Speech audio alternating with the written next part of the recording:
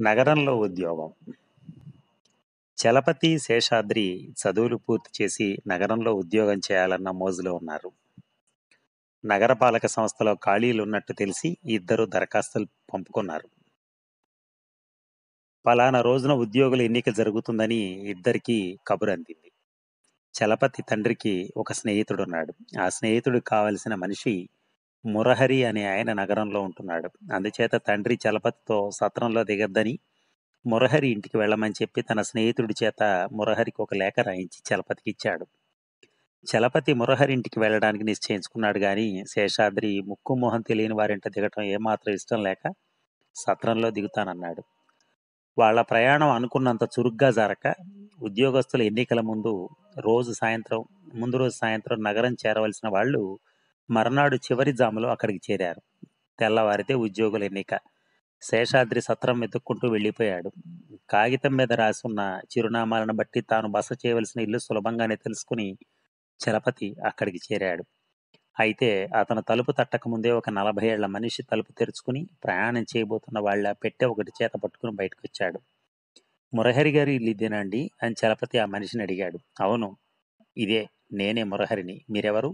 అని ఆ మనిషి చలపతిని అనుమానంగా చూస్తూ అడిగాడు. చలపతి తన విషయం ఆ మనిషికి చెప్పి తెల్లవారితే పరీక్ష అలసిపోయి ఉన్నాను కాసేపు విశ్రాంతి తీసుకుందామని వచ్చాను అన్నాడు. ఆయన ఎంతో నొచ్చుకుని మా అన్నగారి కొంట్లో ఏమీ బాగాలేదని కబురందింది కంగారుగా బయలుదేరుతున్నాను. ఇల్లు మీదే అనుకోండి రేపు సాయంత్రానికి వచ్చేస్తాం అని వెళ్ళిపోయాడు.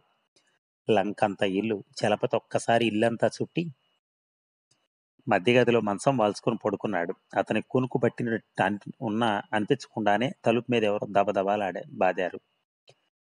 చలపతి ఉలిక్కిపడి లేచి తలుపు తీశాడు. బయట బాగా తెల్లవారిపోయింది. ఇంటి బయట పది మంది మనుషులు కర్రలు పట్టుకుని నిలబడున్నారు. తలుపు తెరిచిన మరుక్షణం వాళ్ళు చలపతి మీద కురికి పెడరెక్కలు విరిచి పట్టుకున్నారు. వారి వెంట ఉన్న ఒక ముసలాయన నేను రాననుకుని దొంగ వెదవ చుట్టంలా ఇంట్లో తిష్ట వేశాడు. ఎందుకైనా మంచిది. డబ్బు నగలు చూసుకుంటాను అని లోపలికి వెళ్ళి పెట్టి తెరిచి చూసుకొని గుండెలు బాదుకుంటూ నగలు లేవు డబ్బు లేదు. ఈ దొంగ వేద ఎవరికో ఇచ్చి పంపేసి ఉంటాడు అంటూ చలపతి పీక పట్టుకున్నాడు. నేను దొంగను కాను నాకేమీ తెలియదు ఇంతకు ముందే ఇక్కడికి వచ్చాను అని చలపతి జరిగిందంతా చెప్పాడు. అంతా అబద్ధం నీ తోడు దొంగ ఎక్కడ ఉంటాడో చెప్పు అంటూ చలపతి వీపు మీద నాలుగు దెబ్బలు వేశాడు ముసలాయన. చలపతి అవమానంతో కుంగిపోయాడు. ఉద్యోగ పరీక్ష సమయం అయిపోతుందని ఓ పక్కన ఆందోళన. కొత్త ఊరు కొత్త మనుషులు ఈ ఊళ్ళో తనని ఎవరు గుర్తిస్తారు? తనకి ఇల్లప్ప చెప్పినవాడు దొంగ అన్నమాట నగరంలో దొంగలు అంత ఘరానాగా ఉంటారన్నమాట. అతను అందరికీ దండాలు పెట్టి ఆ మనిషి దొంగని నాకు తెలియదు నేను ఇక్కడికి ఉద్యోగం కోసం వచ్చాను మా నాన్నగారి మిత్రుడు ఈ చిరునామా కాగితం ఇచ్చాడు. ఇంతకీ ఇది మురహరి గారి ఇల్లు కాదా? అంటూ తన వద్ద ఉన్న లేఖ వారికి చూపించాడు. మురహరి ఆ ఇల్లు ఖాళీ చేసి ఆరు నెలలైందట. వీడిని గదిలో బంధించి ఆ మురహరిని పిలుచుకురండి అని ఎవరో సలహా ఇచ్చారు. చలపతిని గదిలోకి తోసి గొళ్ళెం పెట్టి మురహరిని పిలుచుకొచ్చారు. అప్పటికి మధ్యాహ్నం అయింది. అప్పటికి చలపతి ప్రయాణపు బడలికతో నిద్రచాలక పరీక్ష మించిపోతున్న ఆందోళనతో సగం చచ్చి ఉన్నాడు. మురహరి వచ్చి చలపతి వద్ద ఉన్న లేఖ తీసుకుని చూసి ఇది నా మిత్రుడు రాసిందే. ఈ అబ్బాయిని నేను లోగడ చూడలేదు కానీ ఇతను నిశ్చయంగా మా ఊరివాడే అన్నాడు. అందరూ చలపతి క్షమాపణ చెప్పుకుని అతన్ని విడిచిపెట్టారు. మురహరి అతన్ని తన ఇంటికి ఆహ్వానించాడు. కానీ చలపతి మీరు నాకు ఇవాళ మహోపకారం చేశారు. ఇక నేను మా ఊరు తిరిగిపోతాను. ఇక్కడ పరీక్ష అయిపోయింది అంటూ ఆ ఇంటి నుంచి బయటపడ్డాడు.